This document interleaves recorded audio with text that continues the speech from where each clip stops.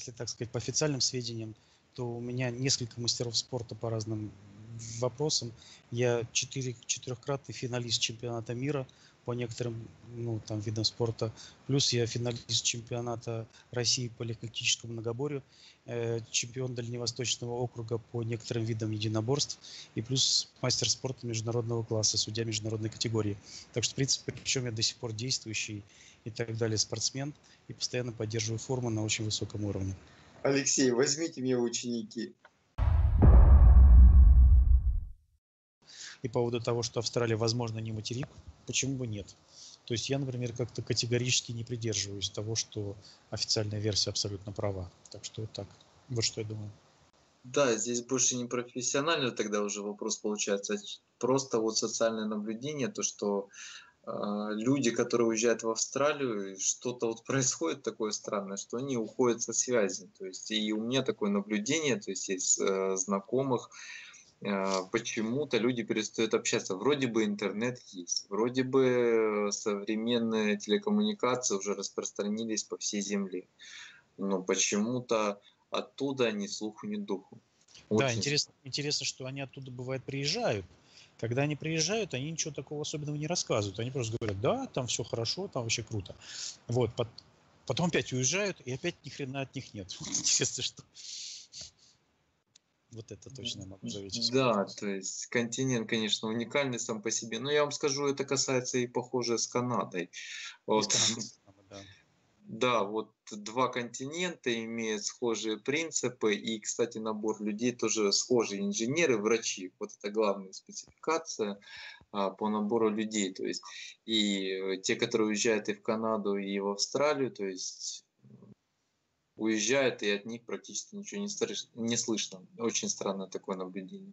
Ну ладно, а, перейдем все-таки на тематику строения Земли. А, Алексей, скажите, пожалуйста, может, еще есть какие-то вот странные, ну, ваши личные наблюдения, ваши помыслы по поводу того, что какие-то косвенные признаки, то есть э, что Я вам еще странно казалось?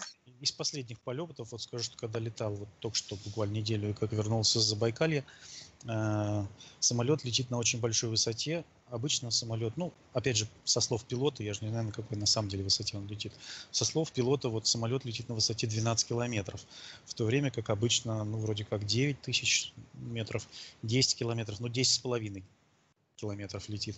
Тут 12 километров летит самолет. Я вот тут, не знаю, могу выложить. Фотографирую уже не первый полет горизонт он идеально ровный, ну, идеально ровный. И что интересно, что он а, на уровне глаз действительно, что по идее с такой высоты он должен хоть немножко опуститься, и второе, что он должен хоть немножко закруглиться. Но он абсолютно ровный раз.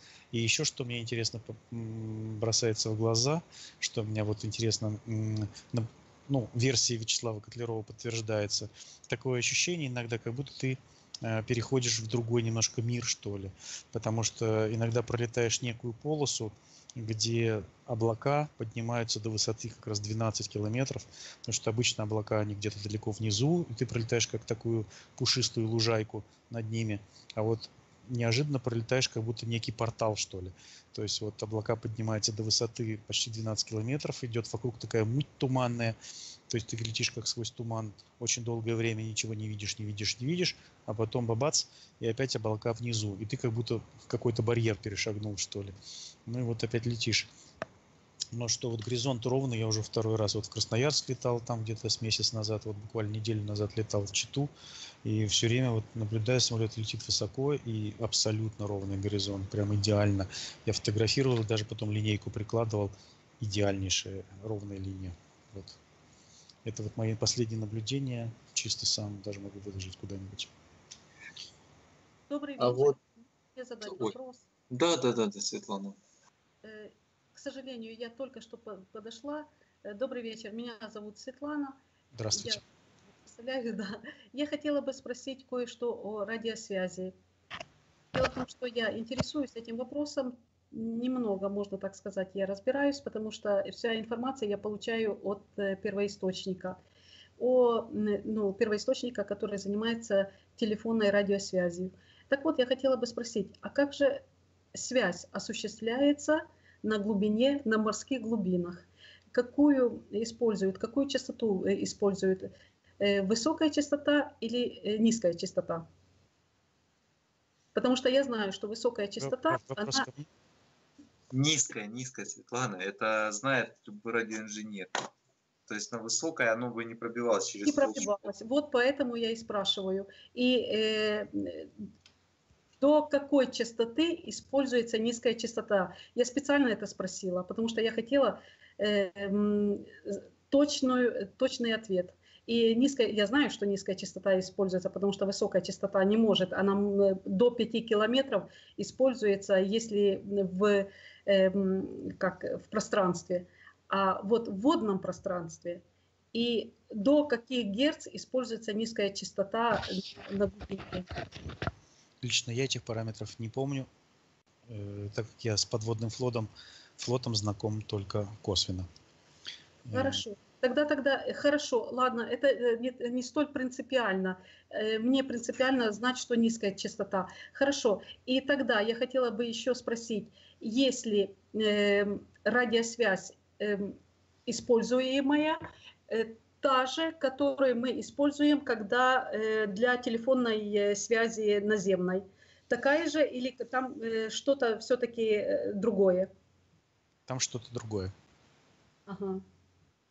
Я не могу сказать точно, во-первых, не, у меня есть там кое-какие сведения, но я вообще-то предпочитаю сильно не распространяться, потому что иногда случайно можешь что-нибудь ляпнуть, а потом черт его знает. Не, лучше лучше не говорить ничего. Хорошо, э, хорошо. Тогда ну, еще... точно, ну, точно могу сказать, что там совершенно отдельные каналы, там специальные, там, там э, ну скажу, что объем информации, который передается по защищенным каналам и по, по тем тем, он существенно превосходит объем нашей легальной, ну легальной информации по каналам там совершенно другого рода все, и там свое как бы государство в государстве, вся эта там система связи, которая идет по каналам там военно-морского флота или каналам другим, и оно на, иногда даже на других принципах или на других совершенно частотах, они там а, отдельно как раз они сделаны так, чтобы они даже случайно и даже в самом страшном сне никаким образом никто случайно не на них наткнулся, да, и так далее, ты не пересекался, уж тем более, да. Хорошо. Ну, я, извините, Тогда... Я добавлю просто. Передача, э, последний вопрос. Прием передачи осуществляется от корабля э, на корабль или есть какая-то эм, э, передатчик, эм, как бы сказать, водный, перед... наземный водный передатчик, который... Ретранслятор. Ретранслятор, правильно. Я думаю, что вся связь ага. проходит по каналам, по которым может быть осуществлен внешний контроль. Внешний контроль. Да. Отлично, все поняла. Огромное спасибо. Понятно. Светлана, я просто отвечу на этот вопрос. Э, грубо говоря, если по поводу подводных лодок, для того, чтобы их не запеленговали, они дают короткий импульс. Да. То есть они сжимают свою информацию, то есть шифру, э, зашифровывают и дают импульс на базу э, в центр. А центр, mm-hmm. именно, который находится в каком-то городе, в зашифрованном варианте дает на скажем так, на длинных волнах, то есть на низкой частоте угу. по всей Земле. По всей Земле. Да, Хорошо. и подводная лодка, которой угу. передается информация, она может это расшифровать. И то же самое касается боевого корабля. Так надо сигнал так скорректировать, потому что э, если, ну, мы не говорим э, о высоких, э, априори мы оставим, потому что это не этот э, случай. Э, низкая частота, она все равно э, отображает и может э, э, модулировать частоту. И, значит, надо определенное расстояние, и, значит, надо точно знать, что по пути следствия должно быть ровная поверхность, потому что если какой-то есть э, ну, изгиб, там впадина или изгиб, хотя это низкая частота, она огибает, но она все равно мультиплицирует или э, аннулирует вот эту частоту, сигнал, пардон, не частоту, а сигнал. Значит, на, на конечный путь, на пункт приема и потом э, обратной передачи, она может не поступить. Вот здесь э, у меня вопрос. Каким образом осуществляется, если это мобильная платформа, ну, мы говорим о э, корабле, он же двигается. И вот здесь, значит, кто-то а, посередине, значит, должен быть какой-то ретранслятор. Вот я, есть ретрансляторы на, на глубине, на, на, на Земле. На глубине на Земле. Есть такие ретрансляторы или нет? На Земле есть. На, на Земле. А на глубине? На глубине нет. Значит, вам надо подняться на какую-то... Антенну, антенну, антенну высовывает. Лодка высовывает, под, под, подсплывает, она, ей запрещено всплывать. Она подсплывает на определенную высо, глубину, высовывает антенну, выстреливает импульс длиной в 0,3 секунды, э, который в сжатом виде улетает. Если ага. надо длинное сообщение, несколько раз подсплывает, несколько раз выстреливает. Этот импульс отсли, э, отлавливается специальными да, наземными станциями, централизован, причем в таких населенных пунктах, которых вы даже не ожидаете. Вот, и, соответственно, дальше все как сказал Роман. И используют, если так, наземная антенна, используется нормальная наземная антенна, которая наша для обыкновенной мобильной связи, или это отдельные антенны? Это отдельная антенна, они специально образом устроены. Прекрасно, я благодарю вас. Ну, для этого как раз и разработано шифрование, даже если его запеленгуют, ну, то есть не запеленгуют, а, грубо говоря, э, получат этот сигнал, они его расшифровать не смогут. Тут, э, Алексей, тут больше такой вопрос, я так понял, от Светланы, такой. Если бы э, это находилось на круглой земле или плоской, получается, какой-то корабль дает импульс, то, соответственно, центр может и на себя сразу принять, то есть это зависит только от мощности корабля, то есть насколько он может выдать мощный импульс. Либо, то есть, э, если Земля сильно закругленная, то, соответственно, нужен ретранслятор. Ну, я в это дело ну. тогда не вдавался в подробностях и не в курсе был. Ну, честно, честно говоря, ну. скажу, что при военной службе очень часто так воспитывается, что вот эта обстановка тотальной секретности и большого количества наказаний за это воспитывает то, что никто никуда не лезет и больше воспринимает как некую данность, некую информацию без особого обдумывания. Типа есть и есть. Нет есть и нет. есть. Хорошо, да, тогда Светлана, еще... Извини, я просто сейчас закончу по поводу этой темы. Э, просто Хорошо, я записала, чтобы не забыть. Да, да, да. Да, сейчас, сейчас, я просто закрою эту тему. Э, Светлана, тут просто вопрос такой. Дело в том, что, что э, так доказать, то есть какая Земля, то есть плоская или круглая, дело в том, что тяжело. Официальная, ну, официальная наука говорит, что есть такое понятие, как переотражение от ионосферы. Поэтому угу. данный вопрос, к сожалению, то есть никак не, не сможет доказать то есть, э, форму Земли. Поэтому... Да нет, я тут немного, я, я понимаю, это очень хороший тоже аргумент, э, который ты сейчас говоришь, но э, правильно, я согласна с тобой, и сейчас мы должны тоже его поднять. Но я по-другому хотела еще сказать. Вот по импульсах – мы используем низкую частоту. Но низкая частота, как, как, э, как низко она бы ни была, она все равно через толщу воды она не может пройти. И поэтому я хотела бы знать, если есть э, ретранслятор, значит ретранслятор должен находиться все равно на какой-то близости от проходящего судна. Толща воды, она дает сильные помехи.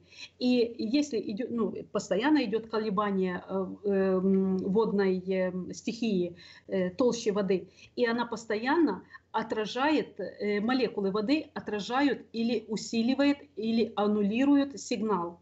И здесь невозможно, вот в чем дело, невозможно это предвидеть. Только ретранслятор, значит, корабль должен на какой-то небольшой удаленности проходить возле ретрансляторов. И значит, по курсу должно быть много ретрансляторов. Это физика. Это тут я ничего не говорю, я ничего не придумываю.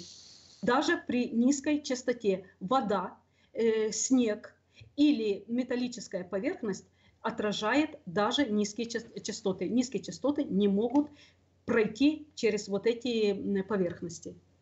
Я могу добавить э, такой вариант. Угу. Я не знаю насчет ретрансляторов, но у всех угу. под, у подводных лодок, которые ну, определенные задания выполняют в море, у них они не могут в любой момент времени взять и начать общаться. У них существует только расписание, и в том числе заданные заранее районы, где они могут подсплывать, и, где, угу. и в какое время они могут выдавать сигнал. То есть это, конечно, информация секретная, но все-таки она заранее известна, как и тем, кто слушает эфир, как и, соответственно, командир подводной лодки. Вот. Соответственно, предположим, если про ретрансляторы, то теоретически эти районы и время, когда она может всплывать, э, возможно, может быть согласовано в том числе с работой так называемых ретрансляторов. То есть, потому что лодка не плывет абы где, и а вдруг, да, и вдруг ни с того ни с сего он решил пообщаться. Нет, это категорически запрещено тут по многим причинам. Поэтому, ну, в общем, так. Значит, у нее есть курс, определенный курс, есть задание, она не имеет права выходить э, за рамки вот этого определенного курса. Так? Да, за исключением неких форс-мажоров, которые форс тоже предусмотрены. Но это, считайте, война. А так, война. Принципе, да, и это так. знает только э, командир корабля и никто другой, и только он дает э, команды. И, даже, и даже он может не знать, потому что у него существуют иногда там некоторые пакеты, которые он должен вскрывать только в определенных местах в определенное время, предположим. Поэтому он заранее может даже не знать, что там произойдет или не произойдет. Значит, даже и командир корабля, как э, авторитет, э, ну, скажем так, государь на этом судне, э, он тоже не знает даже настоящих очертаний береговой линии, если так. Скорее всего, да. Так на самом деле, в принципе, вот как мы вчера озвучивали, так я сам в штурманской рубке сидел, многократно был штурманом, вахтином и так далее. Э, да, там морские карты, они довольно крупного масштаба, они очерчивают какую-то береговую линию. По mm-hmm. этим локальным данным трудно составить впечатление о том, где ты плывешь. Так-то, в принципе, конечно, объективное визуальное наблюдение согласуется с тем, что ты видишь на картах, но так как карты очень крупного масштаба, то, конечно, они не дают какой-то большой картинки обзорной, э, чтобы можно было понять, где ты вообще, в принципе, плывешь. Написано Африка, ты веришь, что Африка, но, в принципе, могла быть все, все что угодно. То есть ты как бы объективно все равно не можешь сказать, где ты на самом деле. Ну да, там координаты какие-то свечиваются, ну черт его знает, может они все врут. Поэтому, ну да, никто ничего сказать не может, в общем-то. Ну вот да. Это, вот ты, это я хотела знать точно. Да, ты их спросишь, они, ну и меня спроси, и все и поклянутся, да, но если так сказать, что вариантов-то взлететь и посмотреть нету, нету. Нет. Так что, в принципе, да, ты берешь там что-то засекаешь, что-то померил. Ну, вот секстан, да, секстан, угу. ну, он меряет ну, это очень-очень опытный какой-то там мега, мега моряк, может mm быть с точностью до, до нескольких морских миль вычислить по секстану местоположение корабля. Мы это делали, вычисляли и, в принципе, вроде как получали долготу, широту, которая соответствовала морским картам. Но это единственный объективный способ, который мы ну, засекали свое местоположение. А остальное засекали, конечно, по навигационным приборам или по картам, которые у нас методом счисления велись. Но опять я говорю, что это все субъективно. По картам они крупного масштаба какой-то обзорной картинки не составить. И значит, вы двигаетесь по азимутальной проекции? Э, ну, мы называли это прямоугольной проекцией, хотя что в принципе... Да, прямоугольная проекция это когда вот просто вот что вижу, то и отображается на плоскость. Что в да, принципе да. и является, а, она же азимутальная, она же прямоугольная.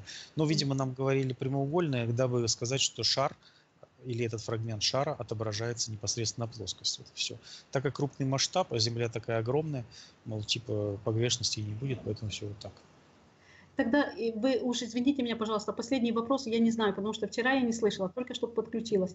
Если по прямоугольной проекции максимальная длина, которую вы можете э, просчитать э, по мере своего продвижения, какая?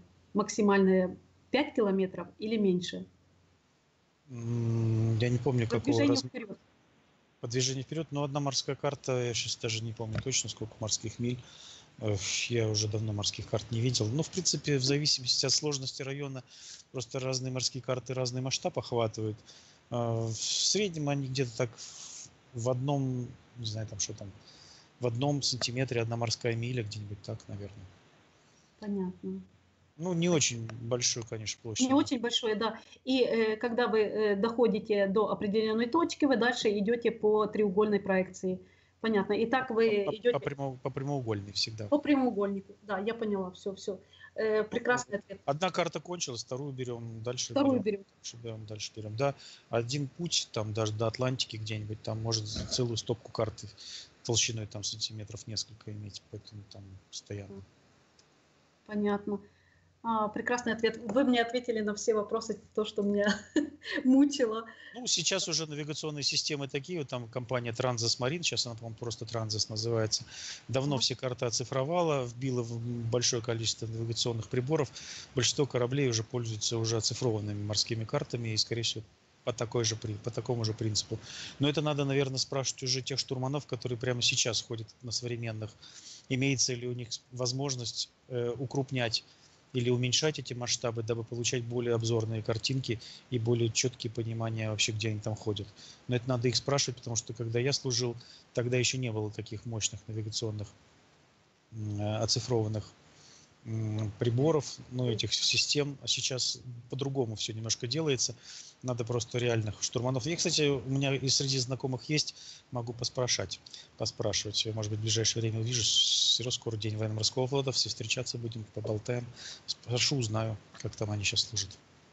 А тогда еще уже действительно последний вопрос. Мальчики, извините меня, пожалуйста, э, тоже меня мучил один вопрос. По, если мы смотрим Google Earth, и э, смотрим на э, морскую пучину, и мы там видим рельеф э, морского дна. Это невозможно также понять, потому что, насколько я знаю, дело в том, что я живу в Италии, и у нас якобы постоянно спасают вот этих э, экстракоммуни... О, экстракоммунитарии, ну вот этих профуги, как они называются, ну вот эти негры, которые переплывают на, э, на наш полуостров. Беженцы, да-да, беженцы. И, э, значит, э, когда они терпят э, крушение на их этих резиновых лодках. И вертолеты, когда поднимаются вверх, они могут только наблюдать определенный район, ну, там в зависимости, ну, как, как бы сказать, пирамидой, не с определенной высоты, не более 500 метров – и вот и сделаем на 90 градусов, сколько это будет э, такая э, площадь. И в солнечный день они вообще ничего не видят. И только в смутный день. Но дело в том, что э, если, например, кто-то эм, падает из с этой лодки и умирает, на расстоянии метр от поверхности воды вообще никого не видят. И тогда вопрос, как же так, что э, мы можем наблюдать из Google Earth э, поверхность э, плоскости морского дна? Я могу что сказать. Я могу Это так меня? сказать. Я служил, да, и знаком с таким понятием, как океанографическое исследовательское судно. В задачу ну, этих судов входит составление карт для подводных лодок. Ну, там много там разных параметров в эти карты заносится. В том числе они исследуют рельеф дна.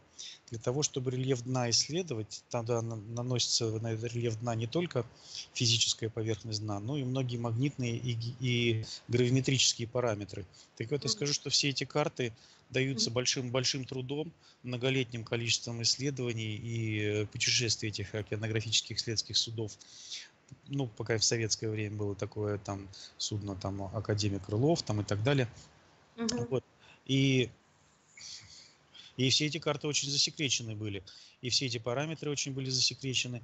И я подозреваю, что если бы так было все просто, взлетел вверх, пофотографировал, да. и пофотографировал все эти карты получил, то нафиг тогда гонять эти все суда с, таки, так, с такие дорогостоящие экспедиции, что они там по, по 9 месяцев не вылазят и все такое фотографируют, и то толком иногда нормальных карт нету.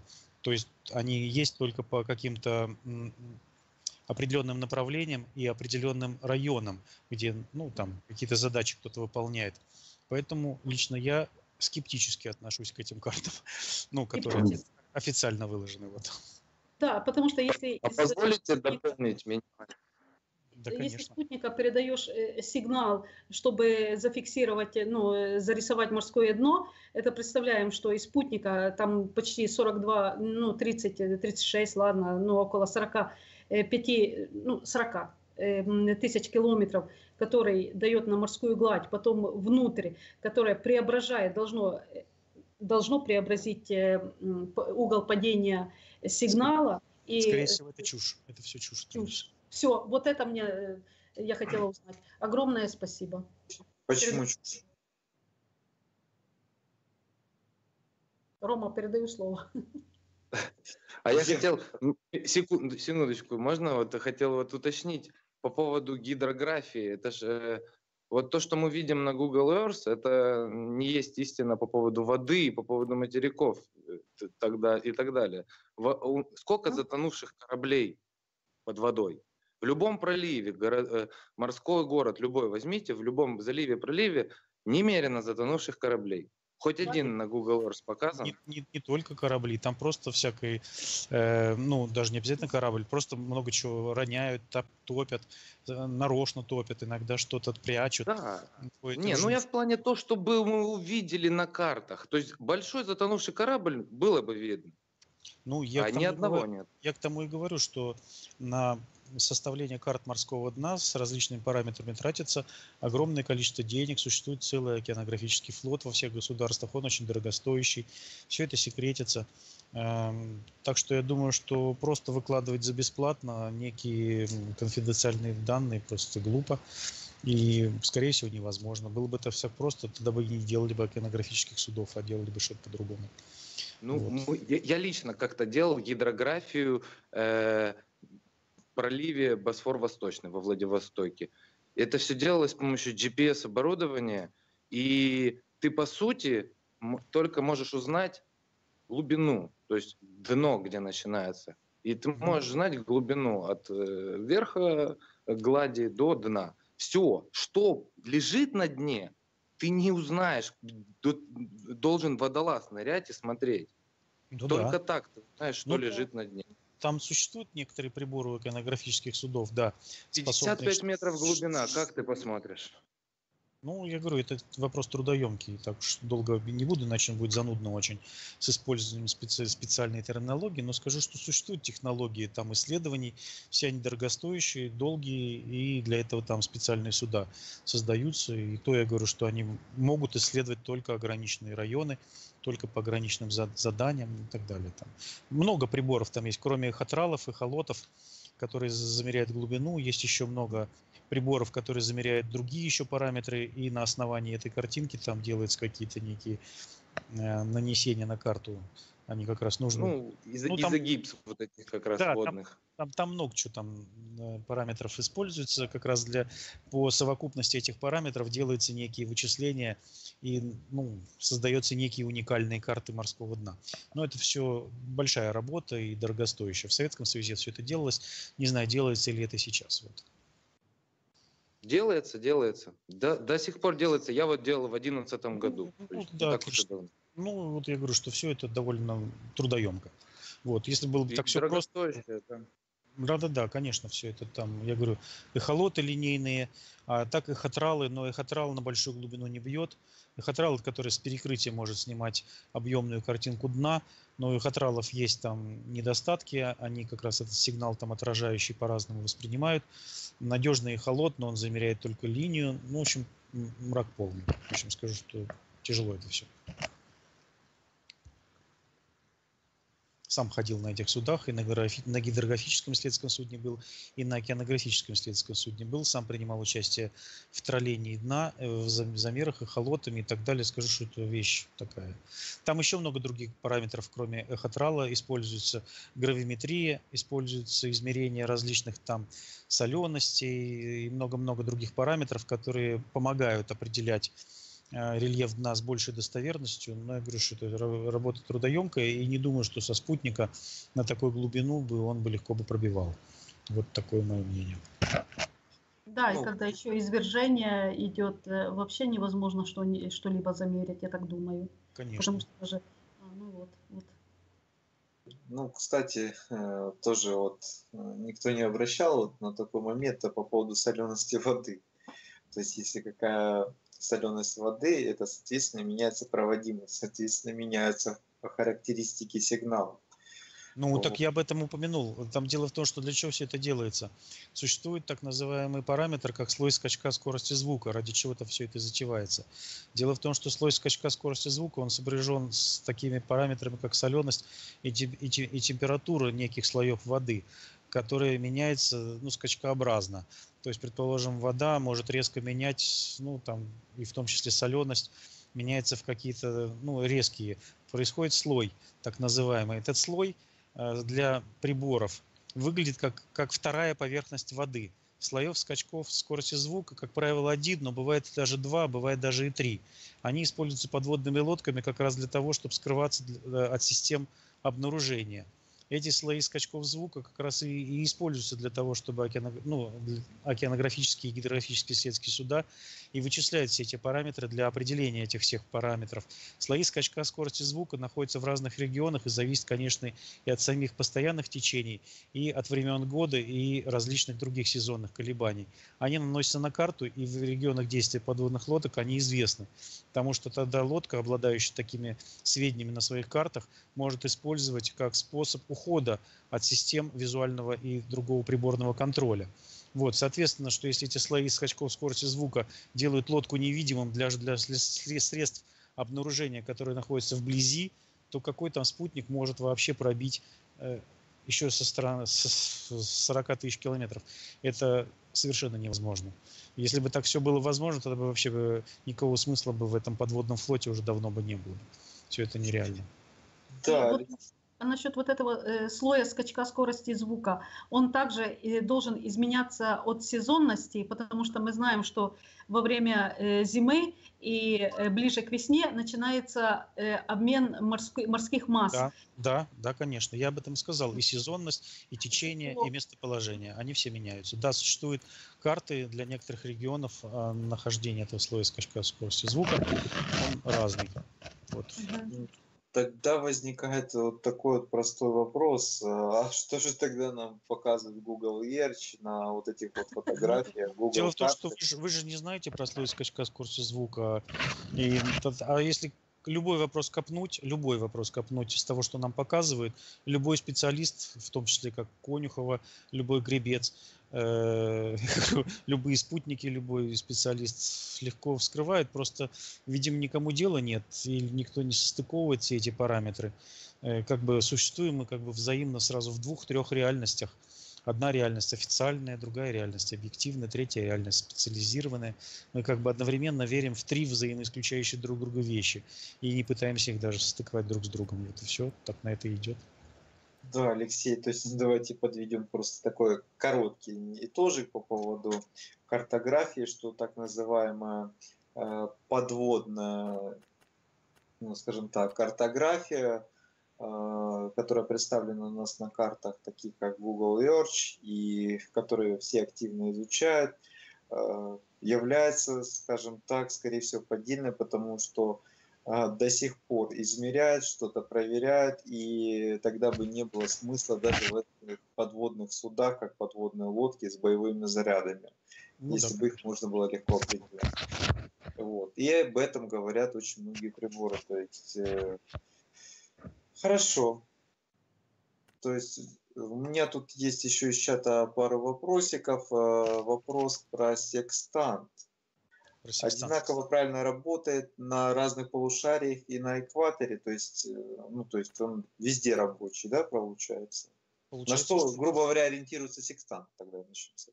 Секстант замеряет э, высоту светила относительно горизонта. А какого светила? Ну, их же много там. А, существует группа так называемых навигационных созвездий и навигационных звезд, относительно которого замеряется. Дело в том, что там а, после измерения секстаном, ну, для измерения секстаном, как правило, нужно два человека. А, одному очень трудно мерить, потому что нужно очень точное время, с точностью до десятых долей секунды. То есть специальный хронометр используется для, ну, работ, для замеров секстаном. Вот. Точно так же существуют еще некие звезды, так называемые навигационные, относительно которых делаются эти замеры. В том числе замеры делаются относительно Луны, ну, причем у Луны там берется нижняя кромка там, или верхняя кромка, ну, там это оговорено в таблицах, и в том числе могут быть замеры произведены по Солнцу. Вот. Получается, у нас самые сложные, конечно, измерения относительно планет, потому что по ним самые сложные таблицы.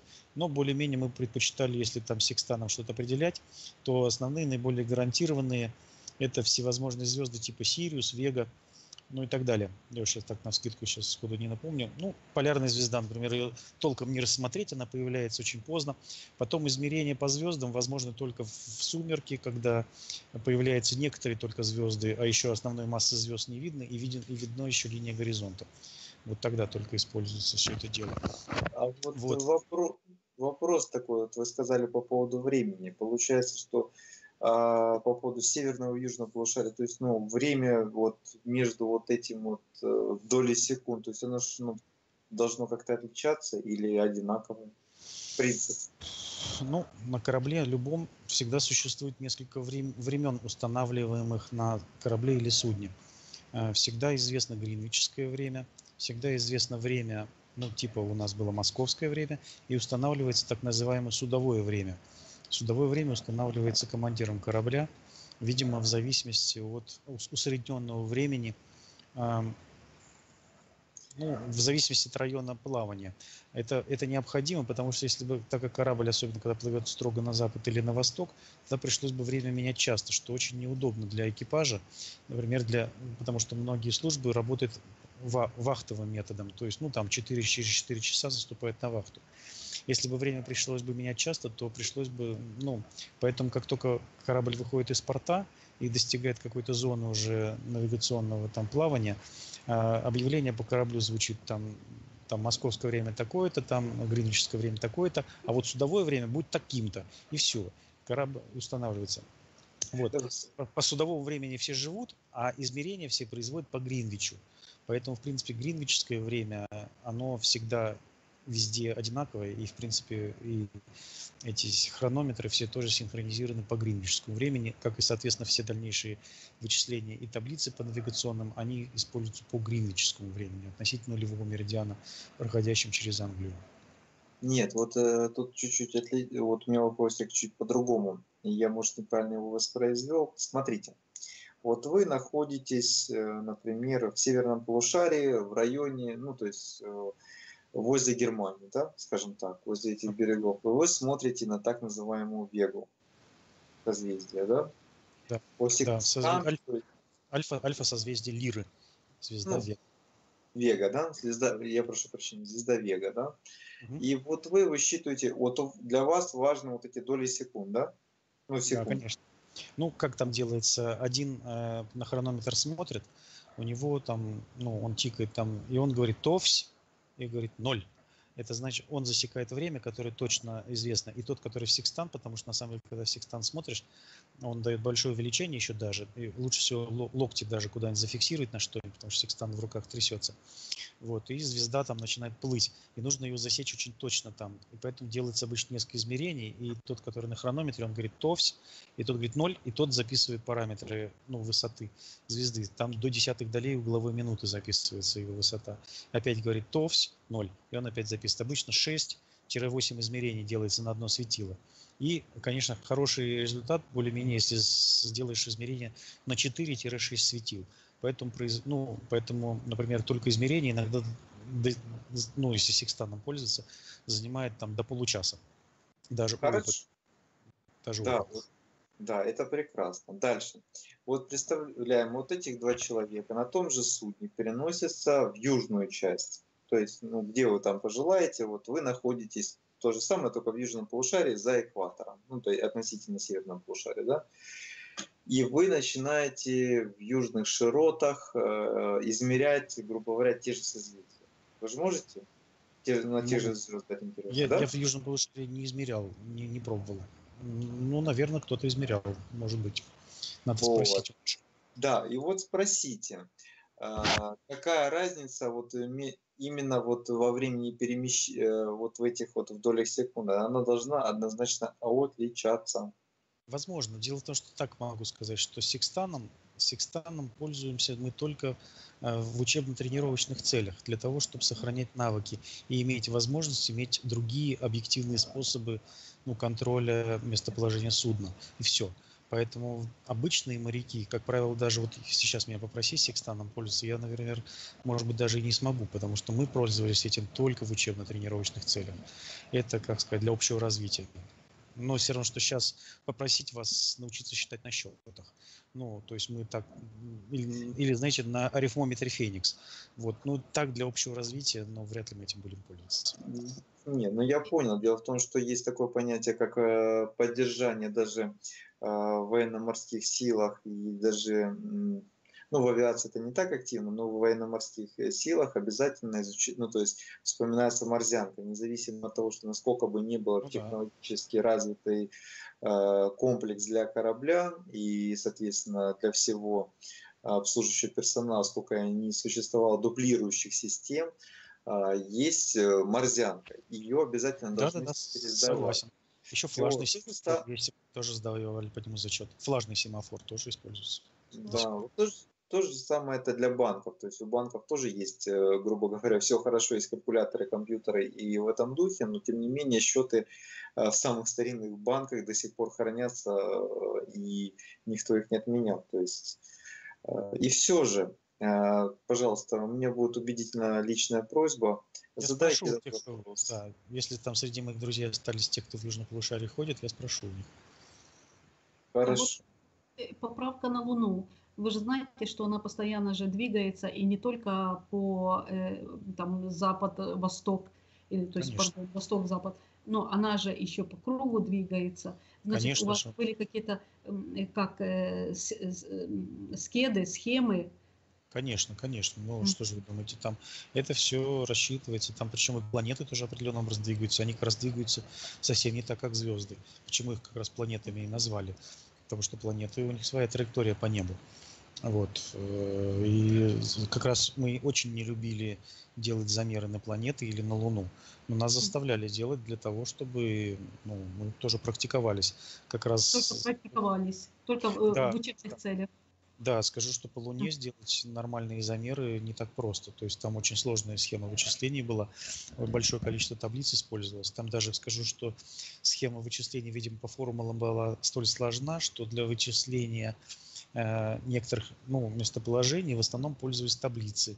Это так называемый морской астрономический ежегодник. Они назывались МАЕ.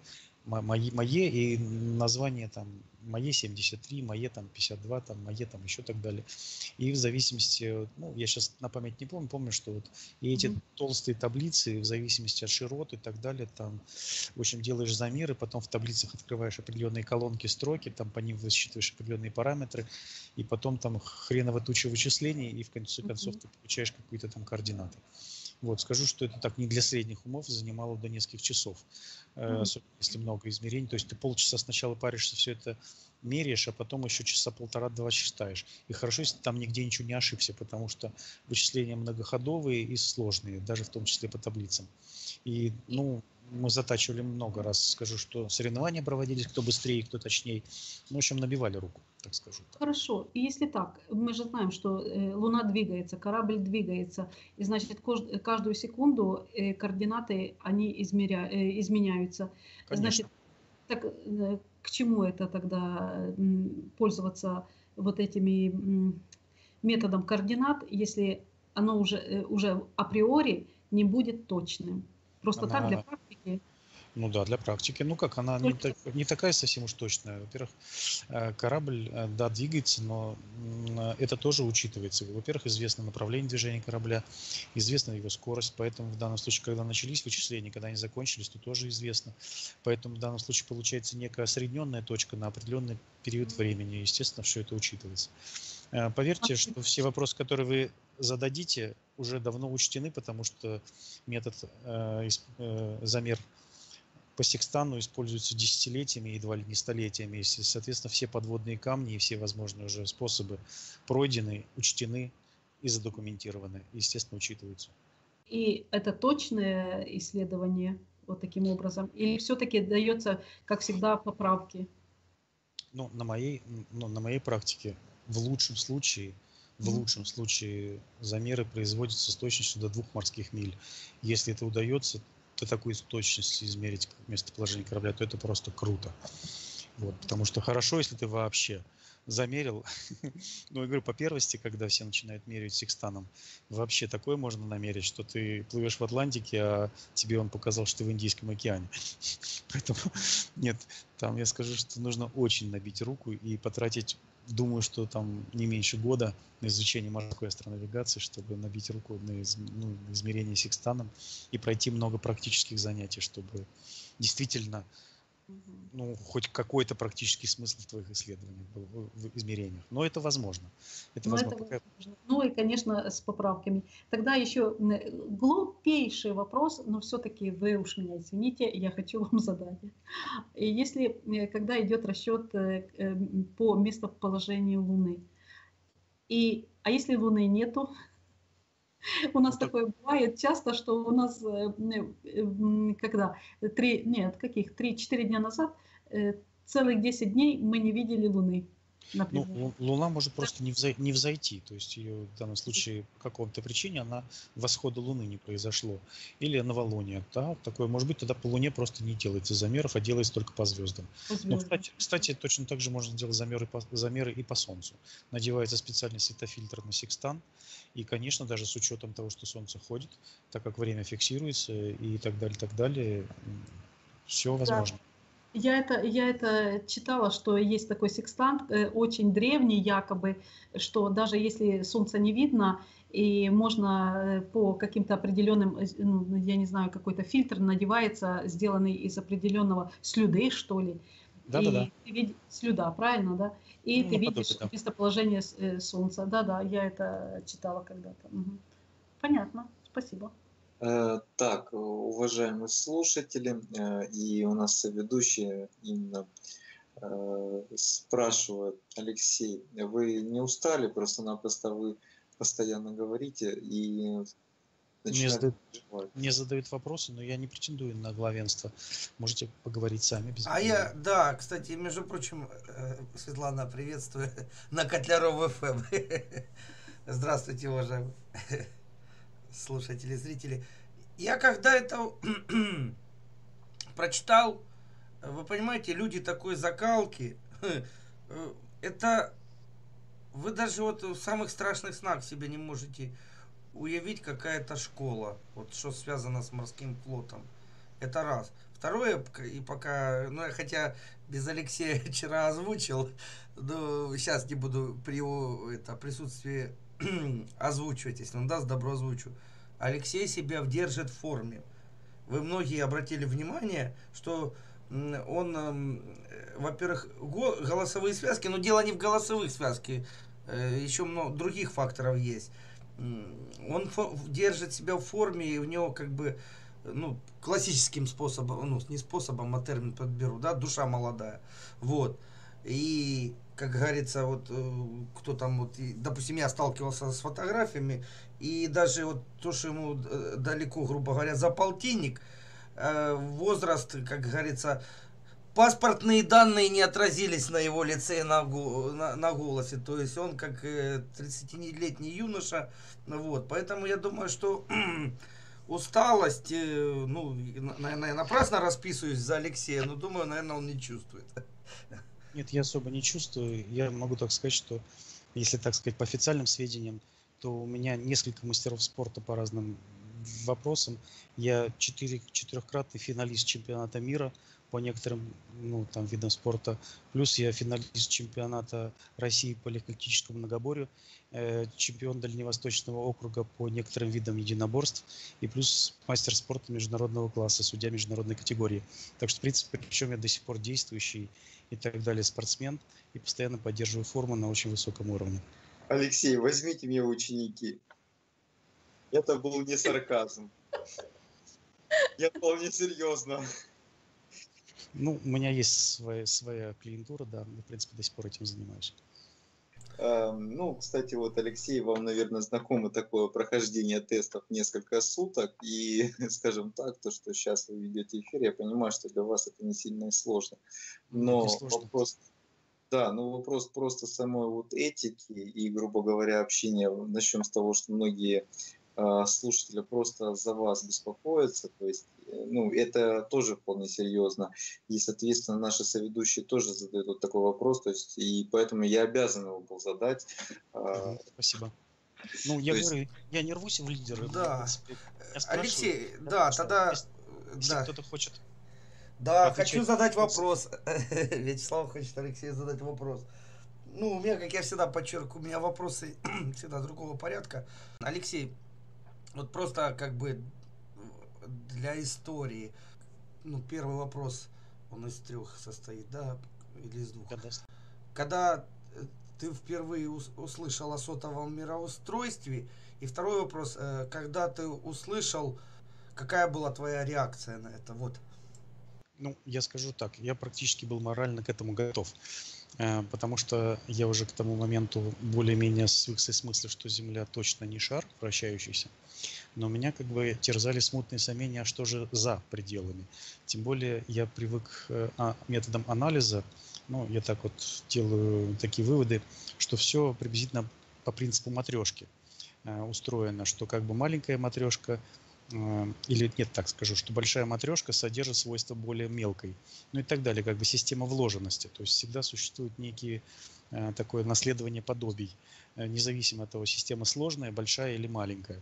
То есть, в принципе, все равно, ну, это наблюдал на коллективах. Предположим, маленький коллектив все равно устраивается по подобию большего коллектива, больший коллектив по подобию и так далее, так далее, так далее. Ну и, соответственно, все законы мира приблизительно так же устроены. Соответственно, когда я посмотрел, как все устроено, ну, те же атомы там, и я почему-то все-таки думал, что микромир э, должен быть такой же, как макромир, или мик, макро, как микро. И, соответственно, когда я понял, что, ну, например, вот в эту систему однозначно не вписывала система гелиоцентрическая, потому что она какая-то ну, совершенно странная. Вот, а вот когда я понял, что Земля не вращается, то подумал, что же там вообще такое. И тут вдруг я натыкаюсь на канал Вячеслава Котлярова, который вот это. И у меня почему-то как-то вот внутри сразу скажу, что логика срослась. Я скажу, что я как-то вот подумал, что это наиболее логичный вариант объяснения многих моментов, и поэтому я ее, в общем, ну, я, правда, единственное, что думаю, что никогда ничего не, не, не совпадает с тем, что мы думаем. То есть мы что-то предполагаем, а, а по факту потом получается что-то по-другому. Но как за отправную точку для начала мыслить система сотового мира мне нравится. Я услышал это первый раз, когда посмотрел э, первые ролики Вячеслава Котлярова. Тогда я, можно сказать, с ним косвенно и познакомился. Ну, потом скажу, что мне он как человек, чисто из диалогов, о том, как он э, ведет себя, как отзывается о людях, как он, в принципе, себя позиционирует, мне нравится. То есть, в принципе, человек такой чувствуется добрый, обстоятельный, ну и как бы понимать, что он говорит. То есть вот мой ответ. Взаимно, взаимно. Спасибо. Да, сейчас, как я говорю, да, Свет, добавишь что-то, да? Нет, нет, я говорю, мы все так думаем. Не, не, я есть, может, не, некрасиво сделал, я разделил людей на три группы. Это моментально проснувшиеся, середняки, которые сомневаются, к какому лагерю примкнуть, и беспробудные. Ну, в той или иной мере. То есть это, ну, вот Алексей сам приводил пример, что его коллеги, так сослуживцы, даже и не будет пытаться затрагивать эти темы, потому что это будет, ну, не есть хорошо. Вот. Но это бесполезно. Я Бес... уже пробовал, это да. только так сказать, роняет несколько авторитет, и они тебя начинают числить немножко в душевно больных, а я это не люблю. Вот. Как человек, который знаком с картами, следующий вопрос. Может он, как это, я передергиваю на себя, но я не могу успокоиться. Я специально э, Алексей расшарил карту, и я четко вижу вместе с вами, уважаемые зрители, невооруженным глазом, что, допустим, восточная часть Кореи, Чины, Китая, и вот этот, э, где находится, я назов, люблю называть носик Южной Кореи, и восточная часть Америки, они визуально идентичны, насколько я вижу, только масштабирование разное. Идем дальше. Восточная часть ну, буду говорить, России и Канады. тоже идентичны. Я в ролике показывал, если перевернуть вверх тормашками и отзеркалить, то восточная часть не идеально, но береговая линия очень похожа. И утраченная юго-восточная часть, где указана на этой карте, внизу слева, вот я показываю, она идентична Мексике. Если ее, опять же, перевернуть и отзеркалить, то она получится вообще вот этот носик, и даже, скорее всего, вот этот носик они еще раз отзеркалили. Вот. Э, значит, а в чем вопрос? Э, первый вопрос. Э, я, я правильно подметил? И второй вопрос, почему ранее это не подметил никто до меня? Ну, вообще-то, я думаю, что, скорее всего, лично я там наблюдал за картами, но, понимаешь, существует какой-то, ну, некий запрет, что ли, в голове. Ну, мало ли, похоже, случайно, может, похоже. Не-не, это, это ты уже сразу на второй отвечаешь. А первый, подмечено мной верно, вот как человек, который видит карты. Сейчас я показываю, что это одно и то же, или все-таки они просто э, на самом деле так, допустим, они существуют, эти материки, и так просто географически сложилось. Или все-таки правильно давлю на то, что это одни и те же места суши, только немножко показаны под одним углом. Вот пока первый вот вопрос. Там Визуально хотя бы, визуально. Кажется, и так, и так. Мне кажется, и так, и так возможно. Но лично я был в Южной Корее, был полностью проехал с юга на север и обратно. В принципе, страна точно существует, и она, в принципе, довольно большая. Вот, потому что, например, я прилетел в город Сеул, потом летели в город Бусан, и на самолете лететь почти час. Вот, в принципе, был потом в, в центре Кореи, там гор много. Вот. В Таиланде... Ну, Алексей, ну, только... прошу, что перебиваю, мне некрасиво да, делаю. Да, да. Сейчас я говорю за визуальную подачу. Это ты, кстати, уже а, перешел а, к третьему вопросу. Нет, я просто говорю, что, скорее всего, может быть и так, и так. Э, это все требует, ну, как я говорю, что по мне так, например, э, можно эм, исходя из этих сведений, это, это для меня как э, некий повод усомниться то есть в правильности того, что сейчас существует. Но, но это все требует проверки. Вот. Ну, возможно, почему бы нет? Все может быть. Хорошо, такое де, де, детское мое наблюдение. Я просто не, не сильно силен в вопросах техники, но интуитивно чувствую, что, допустим, люди, проживающие, к примеру, в Хабаровске или еще чуть южнее, Э, какой-нибудь Кулибин может создать квадрокоптер. Я, ну, это, естественно, нужны деньги. Я за воздушный шар молчу, потому что воздушный шар это вообще опасная вещь. Э, скажи, что террорист. А? Собьют и скажу, что террорист. Да, да, да, да, да. Вот, как говорится, просто я знаю, что есть такие доморощенные кулипины, которые из вилки, как говорится, танк могут склепать. Поэтому теоретически, если человека оснастить необходимыми средствами, просто сказать, вот, допустим, там, Андрей Георгиевич, да, вот вам это э, финансы, сделайте такую штуку, чтобы пролетело э, с север, ну, относительно северной точки на юг и фиксировала это все в онлайн режиме. Готов. А? Я готов. Да. Кстати, а вот, а еще э, воспользуюсь случаем, я сейчас использовал Андрей, Андрей Григорьевич, я, честно говоря, не ожидал, что наш уважаемый Андрей Купцов вот так болезненно относится к критике. Я уже сегодня говорил, и сейчас повторю, если вы пройдете под ролик э, Андрей Купцов, связанный с Америкой, у меня там, я не помню, третий от конца или там четвертый, Андрей Купцов под э, псевдонимом Алексей Купцов лично каждому кидает вызов. То есть тот, кто сомневается в его словах, он пишет, давай, заходи ко мне в скайп, пишет свой номер телефона. И меня так это удивило, что, ну, вот, ну, настолько серьезно. Причем вот эта фраза его такая замечательная. Он говорит, вы, ну, на вы даже ко мне перешел это, говорит, вы говорите, что континентов нету, а я, ну, а потом он от себя говорит, а я, а я говорю, что даже страны э, США нету. Имеется в виду в юридическом плане.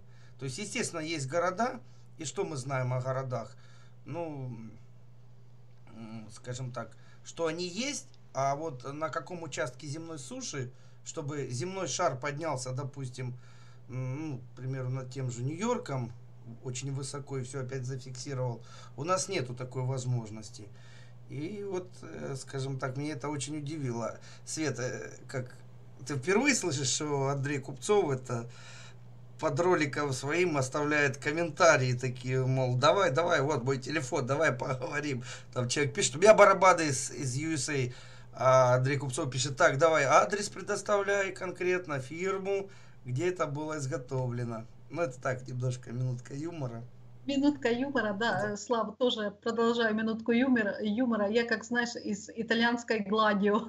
Я не включаюсь в эфир, но я на планшете тебя слышала и слышала, о чем ты говорил. Конечно, я посмеялась, но проверить еще не проверила. И ты же знаешь, что я его очень хочу поговорить, ну, пригла... если мы можем его пригласить в эфир, и у меня к нему есть несколько вопросов, серьезных вопросов.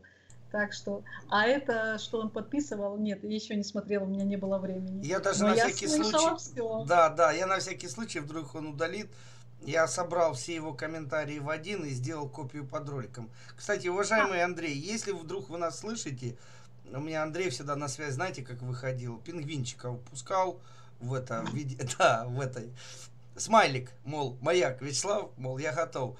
Э, Андрей, пароль помню, если вы вдруг не спите и смотрите Котлеров ФМ, давайте ваших пингвинов, и вы понимаете, будет замечательная беседа, если вы вдруг подключитесь. Если вдруг услышите там записи, ну, в будущем давайте кидайте пингвинов, мы вас всегда будем рады видеть на Котлеров ФМ, и я, я хотел да. одну вещь сказать. Вы знаете, друзья, я хотел бы с вами попрощаться, потому что мне сейчас надо уже идти. Вот.